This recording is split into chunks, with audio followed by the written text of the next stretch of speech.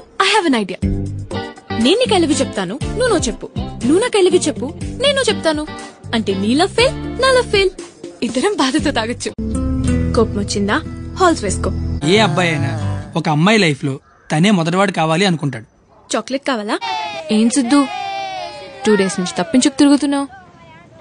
ఏం జరిగిందో చెప్పమన్నాను కదా. చెప్పడానికి సిగ్గేసిందా?